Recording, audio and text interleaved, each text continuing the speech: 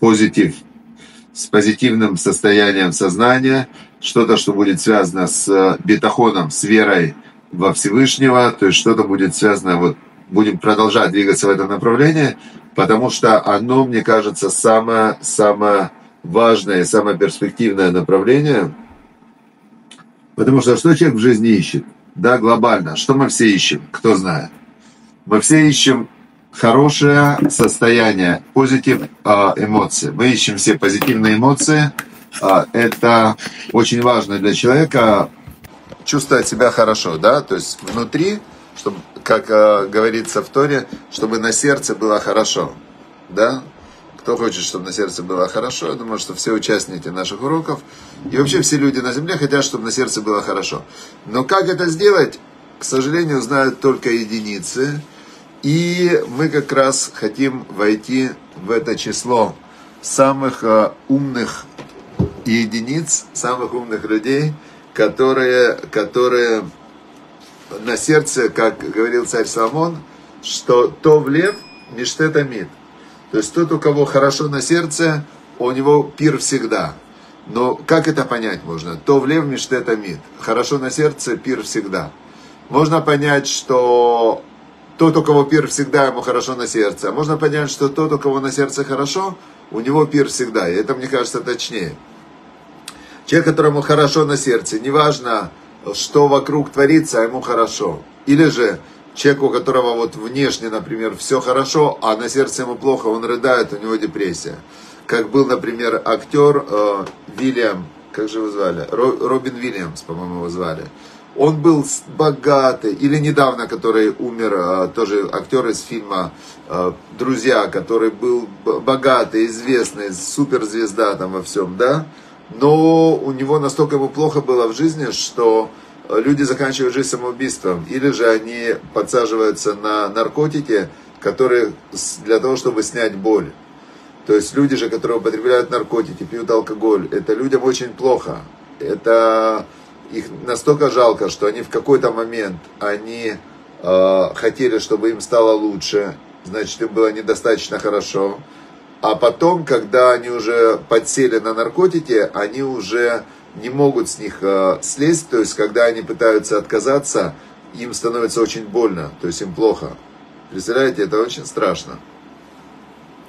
Вот, а мы идем очень э, хорошим таким путем через веру в Бога и изучаем э, книгу «Сад», заканчивая уже «Сад благодарности», в которой нам показал Рав Шаломаруш путь прямо на небеса, путь прямо на небеса, находясь в этом мире. Этот путь идет через благодарность, отсутствие нытья, через э, э, то, что называется вера в частное предопределение, то, что есть у человека вера, что все от Всевышнего – и вера, что Всевышний все ему делает к лучшему. И дальше все остальное это инструменты, с помощью которых э, человек, он возвращает свой бегающий и загнанный интеллект. Э, на Востоке сравнивают интеллект с э, дикой обезьяной, да, что у человека в голове сидит дикая обезьяна, которая бесконечно скачет в, в голове, и все время она, эта обезьяна, то она туда, то сюда, то она беспокоится, то то. То есть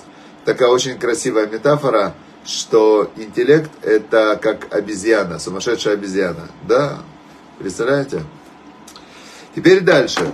Говорит нам Рав Шаламару в 113 роте, он говорит так, что человек, который доволен управлением Всевышнего, благословенно его имя, и говорит спасибо за все, что Всевышний с ним делает, даже когда ему очень больно. Но он знает и верит, что так делает Всевышний, и это хорошо, и громко говорит, что он рад этому предопределению, тогда по принципу мера за меру Всевышний принимает с любовью поведение этого человека и прощает ему все грехи.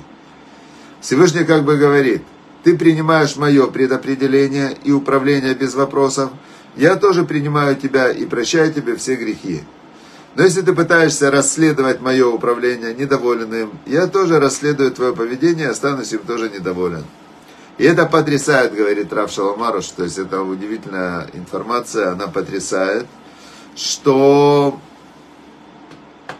все, что человек делает, да, оно идет к нему, возвращается мера за меру. И получается, что человек, который нытик, да, который ноет и недовольный, он пробуждает против себя обвинения.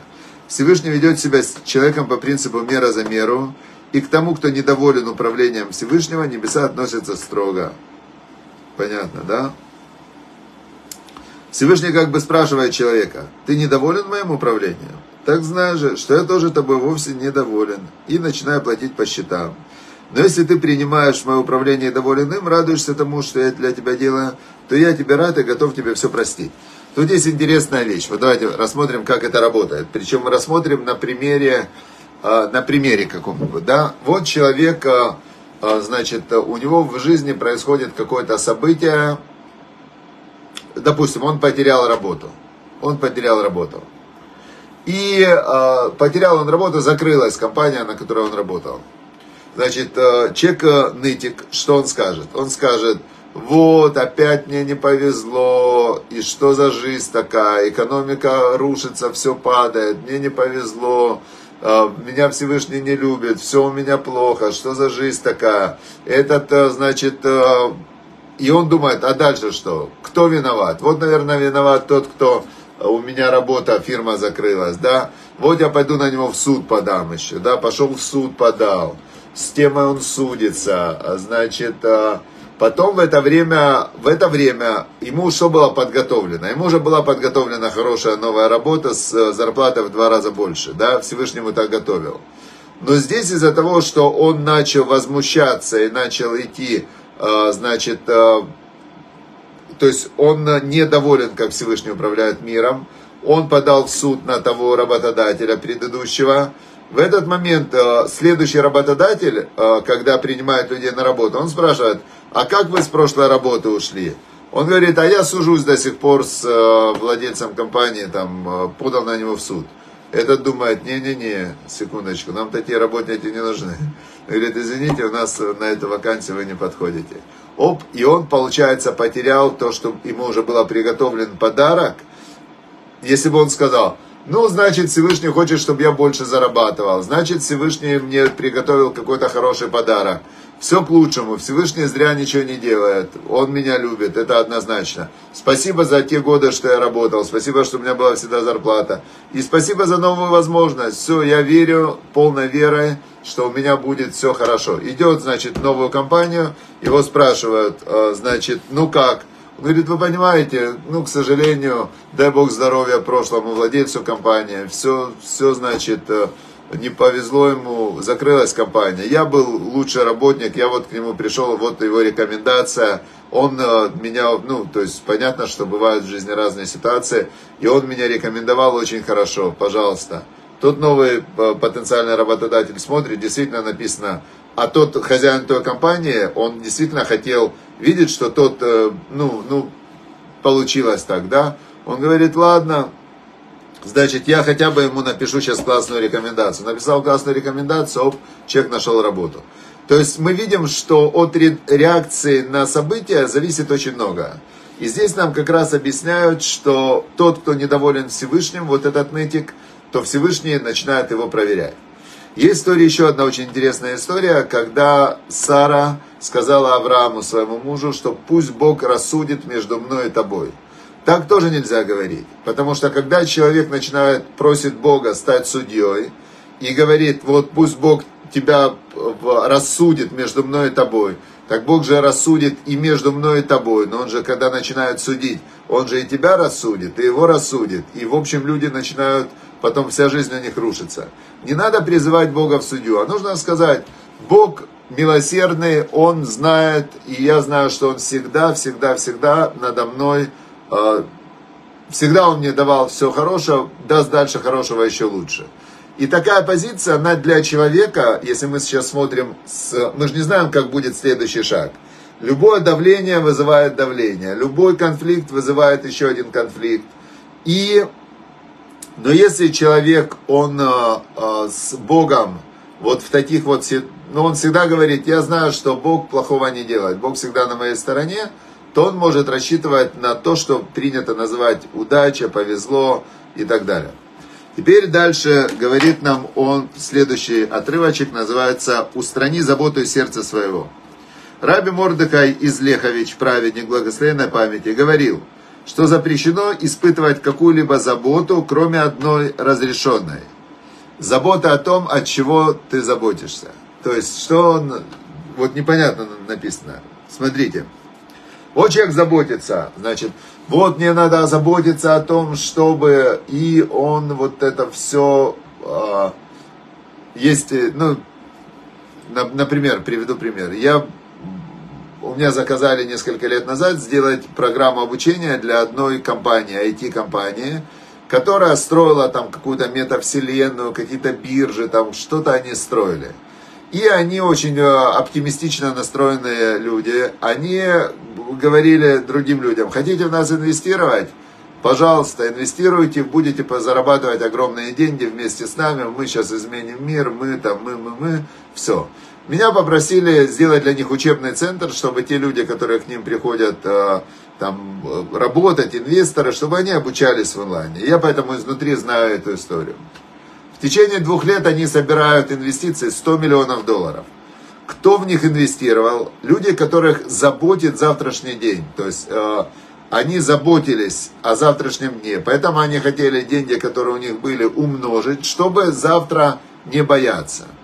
Теперь царь Соломон, он говорил, вот как раз сегодня 12 февраля, Лилу Нишама, значит, э, Борух Бен Авраам, это мой папа, который умер 12 февраля, он ушел два года назад, но Йорцет отмечают по еврейскому календарю, это будет Юд Алев э, в Адаре, еще сегодня не наступил этот день, через неделю где-то будет, через даже больше чуть, будет э, Юд Алев в Адаре, значит, ему Лилу Нишама для поднятия его души, значит, как раз сегодняшний урок. И вот в 12 главе Мишлей, притчи царя Соломона, там есть такая глава, что «Овета адмато э, из Балехом». Тот, кто обрабатывает землю свою, да, он насытится хлебом. А Мирадев Рейтим, тот, кто гонится за пустотой, он, давайте посмотрим, что с ним будет, забыл я. Значит, вот, Увет адмато из балехам, умирадев рейтим хасар лев. Тот, кто гонится за пустотой, у него будет, э, ну, у него будет хасар лев, это как он не управляет своим разумом. То есть человек, э, который, который гонится за пустотой, а все вот эти вот большие инвестиционные проекты, я помню, когда-то я разговаривал с одним человеком, который, э, который он был в, в этой организации МММ.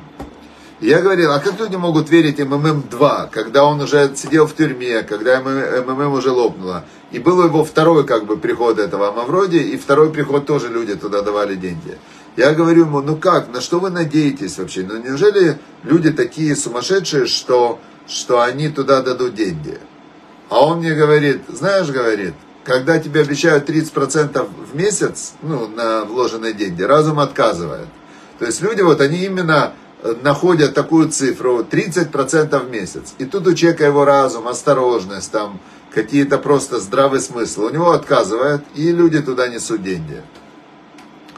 Я помню, а, я помню, э, значит, э, был у меня один, ну, человек, который тогда он меня в Киеве возил на машине, да, я когда приезжал на две недели в месяц, был один человек, который все время меня возил в это время на машине, такой таксист, Саша его звали. И он, значит, этот Саша, он очень осторожный был человек. Очень осторожный человек, прям вообще. И он э, меня возил, он мне говорит, ну что, давать мне ВММ, ВММ этот. Я говорю, Саша, ну, ну сам подумай, ну это же афера. Он, ну да. В это время его какие-то там друзья, значит, э, один купил BMW новую, другой дом купил. И он, значит, мне говорит, слушай, ну вот у меня же друг один купил. Я говорю, смотри, это афера, то есть это понятно, что это афера, что она закончится. Он, ну вот, он же купил, он же купил, он, в общем, он в, в один из дней, он говорит, все, я вот у меня 10 тысяч отложено на новую машину, я сейчас собирал на новую машину, ну, значит, сейчас, э, значит, все, э, отдаю. Я говорю, ну, твой выбор, смотри. В общем, он завозит эти 10 тысяч долларов, и буквально на следующий день они перестают выплачивать, он теряет эти деньги, значит, и говорит, ну, поезжу на старой машине, значит, все. поезжу на старой машине, ездил долго еще на старой машине. А если бы он получил притчи царя Соломона, что тот, кто обрабатывает землю его, насытится хлебом, у Мирадев Рейтим, тот, кто гоняется за пустотой, Хасер Лев не управляет разумом. Хасер Лев это как у него не хватает сердца, дословно переводится. То есть у него вот эта обезьяна, она его тиранит и терзает, и ему говорит, смотри, вот тебе же надо же как-то это все приумножать, там это, а что завтра ты будешь делать? Говорит нам Раби Мордыхай Злехович, праведник. А праведники, интересно, вот я не знаю лично про него, но в его поколении была очень модна у праведников, такая мода у них была. Чтобы когда они ложились спать, у них не оставалось ни копейки денег, они все свои деньги раздавали на цдаку. Все, что к ним за день приходило, они должны были это все раздать на, на нуждающимся людям. Почему они так делали? Они говорили, что даст Бог день, даст Бог пищу. Не зря Бог 40 э, лет еврейский народ держал в пустыне, выдавая им ман каждый день. Доза мана на один день. В пятницу выпадает на два дня, чтобы в субботу они не собирали ман в пустыне. Для чего? Для того, чтобы человек был уверен в завтрашнем дне. И он может быть уверен в завтрашнем дне не когда у него там спрятано, здесь спрятано, там э, вложено, там вложено. В этом случае он может быть уверен, что завтра к нему придет налоговая, бандиты, и что его потомство будет судиться и ругаться за то, кому достанется это после его смерти. И когда он уже будет при смерти, будут ждать, когда же быстрее. Это он может быть уверен. Но человек, который, а, который по-настоящему уверен в завтрашнем дне, он только может быть уверен в том, что Бог его любит и Бог его не оставит. И они в себе вот эту уверенность тренировали. Они отдавали все и ложились спать без ничего, зная, даст Бог день, даст Бог пищу. А второе у них было такое, как упражнение они делали, да, праведники. Это было лет 200 назад, а, когда были, вот прям такой был духовный взлет. Они уходили в добровольное изгнание. То есть а, они брали котомочку, великие мудрецы были, которые были люди ну, совершенно невероятного духовного уровня. И выходили они из дома, значит, и не, чтобы они в одном месте не ночевали больше одной ночи. Телефонов же не было, ничего не было, никто не знал, кто они. И они приходили, тут просили, там просили, здесь где-то они, кто-то их покормил там. И вот они уходили в добровольное знание. Некоторые доходили до земли Израиля, обратно. С, около ста лет назад эту методику изучали, в, были ешивы Навардак, Сабами Навардак. Они прям высаживались где-то в степи, в полях, и, значит, они вот так без денег, без ничего добирались обратно до Ешивы, э, чтобы чувствовать вот это вот божественное проведение. Есть интересная история, как было два великих мудреца, Раби Элимелех и Раби Зуси из э, Аниполя. Это было два брата. И вот они вместе пошли в это добровольное изгнание. И, значит, они остановились на ночь в каком-то постоялом дворе. Один спал на скамейке, второй спал под скамейкой. И там выпивала какая-то группа, значит, э, нееврейских каких-то людей, которые увидели, выпили хорошенько, увидели двух евреев, решили с них спросить, за что Христа распяли. Значит, и они э, взяли, говорят, вот лежит на скамейке. Они не видели, что их двое, они увидели одного, который на скамейке спал. Они его разбудили и побили.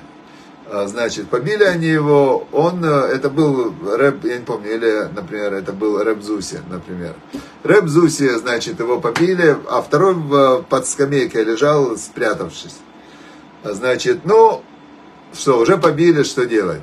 Тот вылез из-под скамейки, ему говорит, слушай, ложись уже, спрячься под скамейку, значит, а, а я уже лягу наверху, если они вдруг еще побьют, так уже тогда меня пусть побьют, да? Тот говорит, хорошо, лег под скамейку, этот на скамейку. Те опять там еще повыпивали, повыпивали, еще что-то им не понравилось, они решили опять разобраться. Они подходят, смотрят, э, этот лежит на скамейке, а они говорят, о, этого на скамейке мы уже били. А вот тот под скамейкой, давай его сейчас побьем. И они вытащили того, который раньше был на скамейке сверху, и еще раз его побили. Так что отсюда приходит?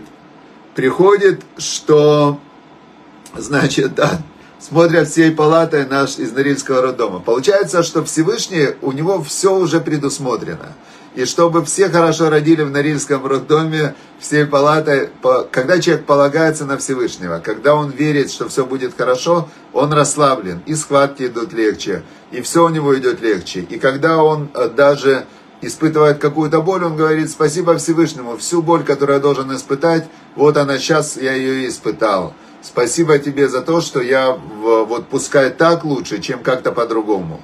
И значит, э, человек, который полагается на Всевышнего, ему всегда хорошо.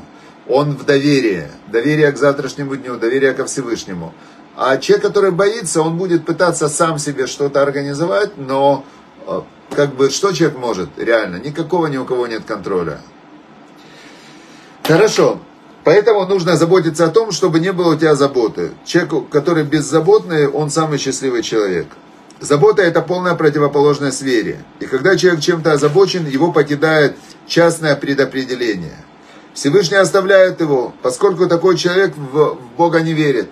Он говорит, слушай, я не верю, что ты мне поможешь. Я не верю. Я буду сам за себя бороться. Да? На Бога надейся, а сам не плашай. Хорошо, если ты на Бога надеешься и сам не плашаешь, имеется в виду, выполняешь все советы Бога, отлично, Бог сказал, что делать, что не делать, что правильно, что неправильно. Это, кстати, тоже Бог сказал. Тора это то, что Бог сказал. Но если ты на Бога не надеешься, а говоришь, ну что буду на тебя надеяться, ты мне что-то хорошее делал, ты меня хоть раз спасал, ты мне хоть раз еду давал. Бог говорит, ну как будто бы говорит, да? Он говорит, ладно, ты сам по себе, давай вперед. И человек, он как бы отсекает себя от божественного от божественной помощи, от божественной любви, от божественного предопределения. Он проявляет дикую неблагодарность, потому что Бог-то реально всех нас жизнь дал, спасал, от всех болезней спасал, коронавирус пережили, там э, ну, каждый пережил в своей жизни достаточно, и все это спасибо Всевышнему. Теперь, но тот, кто не верит, значит, э, говорит Всевышний, давай сам.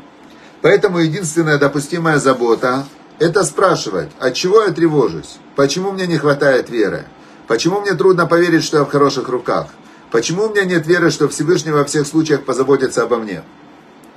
И главное, он говорит, укреплять эту веру, молиться о вере и а, в себе пробуждать вот эту вот веру, что Всевышний о тебе позаботится, это и есть внутреннее спокойствие.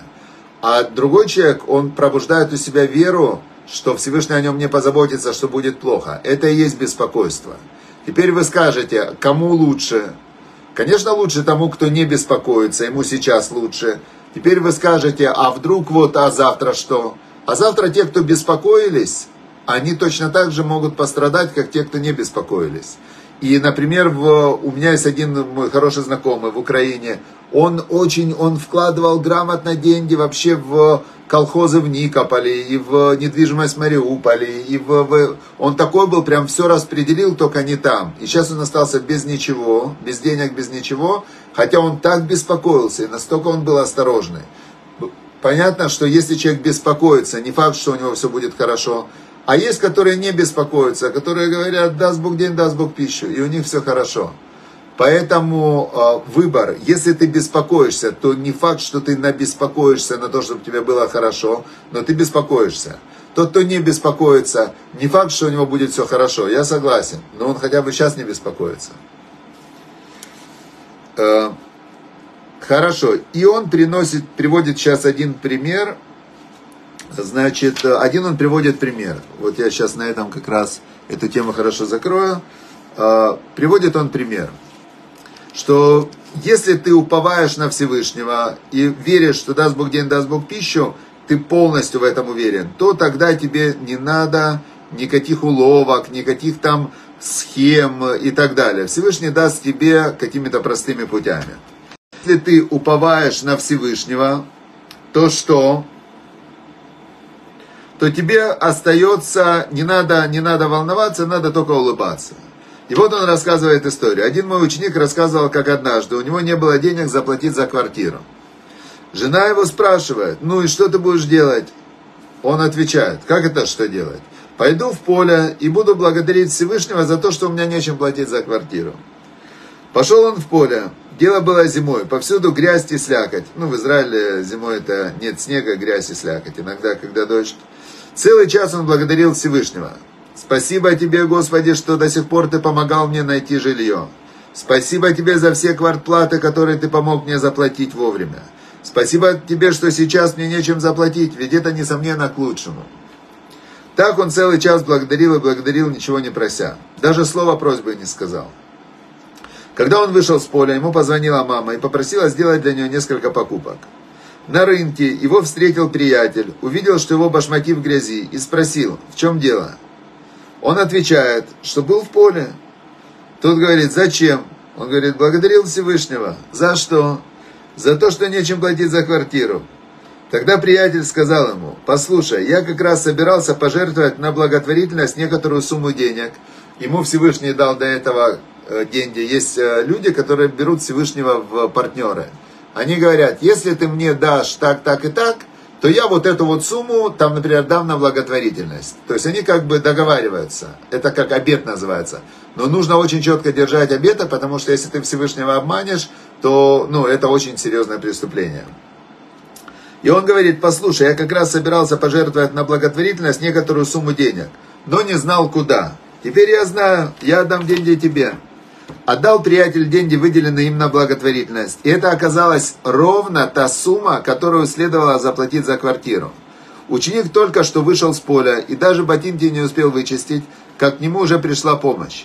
Такова сила благодарения. И в этом суть довольства своей участью, лежащей в корне упования. Человек знает, что Всевышний благ и полагается на его управление. Именно об этом говорили все, про, все процитированные выше праведники. Если человек полностью уповает на Всевышнего, в его силах смягчить и отменить все обвинения и приговоры. И для этого не надо даже трудиться. Вот такой вот хороший нам дал он сегодня совет. И, а, значит, а, вот здесь у нас в этой книге короткие такие, да, уроки. Но я не хочу сегодня, я сегодня не буду тогда отсюда ничего читать. У нас есть сегодня очень мощный такой прямо урок, который можно на нем сегодня и остановиться. Значит, есть у нас тот, кто уповает на Всевышнего, Всевышний будет ему помогать. Это первое. А тот, кто по-настоящему, по-настоящему знает, что Всевышний делает только добро, Всевышний также смотрит на него, точно так же. Это два. Три, это значит, что ну все, все, хватит. Значит, уповаем во Всевышнего, знаем, что Всевышний делает только добро, и Всевышний будет делать нам добро. Но при этом нужно выполнять советы Всевышнего, его советы, его заповеди, его указания. И вот то есть сегодня у нас царь Соломон нам посоветовал 12 глава 11 отрывок. Работающий на земле насыщается хлебом, а гоняющийся за пустотой не управляет разумом. У каждого из нас есть какое-то место, где мы уже как бы окопались, и Всевышнему достаточно через это место, чтобы он нам давал пропитание. Поэтому вот тут как раз, когда у тебя уже что-то прорастает, достаточно сильно молиться, дальше сделать больше упор на духовное, и вот как раз в этом, в этом как бы уже существующем сосуде Всевышний даст благословение. Все, чтобы Всевышний дал всем нам благословение – чтобы главным благословением была огромная чистая вера, такая настоящая, что все от Всевышнего, и Он хочет для нас только добра, чтобы мы видели это добро, не были нытиками, не, а, не восставали против Всевышнего своим недовольством, своими негативами, и Всевышний восполнит все, что нам каждому не хватает, Всевышний восполнит. Все, до завтра. Спасибо, что приходите на уроки, спасибо, что поддерживаете Вайкра. Всем удачи и успехов. А роженицам легких родов желают. Легких родов, чтобы у вас хорошо прошли роды, родились здоровые детки, и вы их научили любить Всевышнего и благодарить Всевышнего, и чтобы прямо была благодарность Всевышнему. Сегодня, кстати, освободили двух заложников. Видите, это у людей, они все уже, два, сколько уже, больше двух месяцев были в заложниках. Сегодня освободили двух заложников, слава Богу значит, что заложники возвращаются, чтобы выжили все мужья, чтобы закончились все войны, чтобы вернулись все с войны. Все, всем до завтра.